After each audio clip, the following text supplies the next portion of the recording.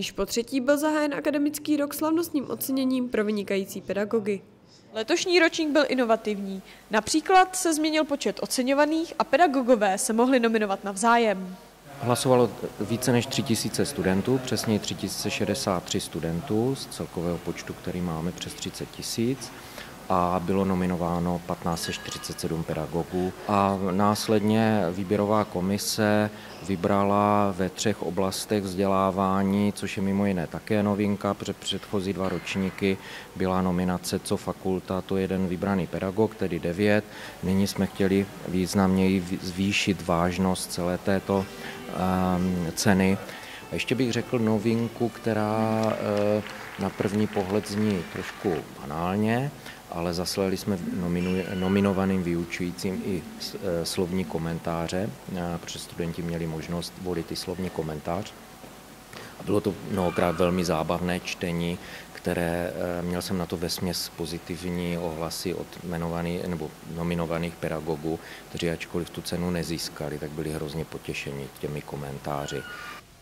Její vstřícný přístup ke studentům se projevuje i tím, že je schopna studenty vybavit dostatečnými znalostmi, aniž by používala různých donucovacích prostředků k domácí přípravě studentů. Musíme se zeptat paní děkanky právnické fakulty, co jsou to donucovací prostředky na právnické fakultě.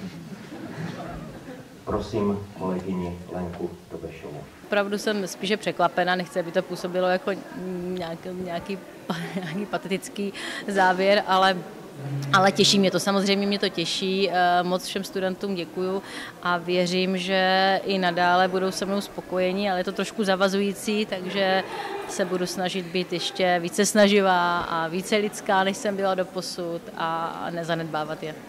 Další novinkou je studentská kategorie. Té se mohou zúčastnit všichni studenti, kteří se aktivně podílejí na výuce.